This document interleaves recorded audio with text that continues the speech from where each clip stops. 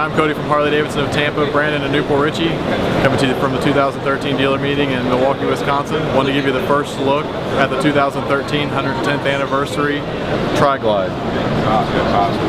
The anniversary color this year is antique bronze and vintage black.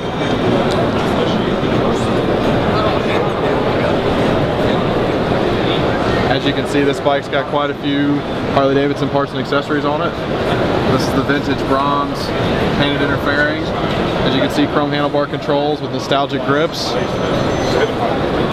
These are the trike saddlebags. Sometimes, Air wing fender rails. sometimes friends free to see. These are the new premium tour pack latches. I don't know, like, I don't respect the fact that you said you cannot. Working around the back. I want to show you the new retractable tethers for the trike models. He's at 13. This is the trunk lid organizer. It's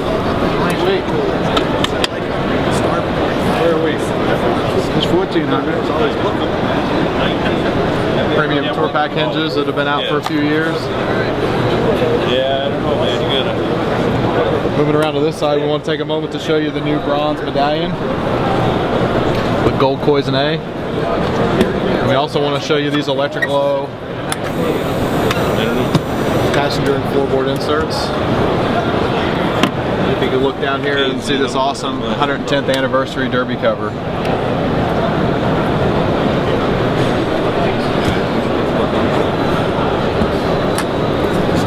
These are serialized and this is one of 1450 that will be produced in the 2013 model year.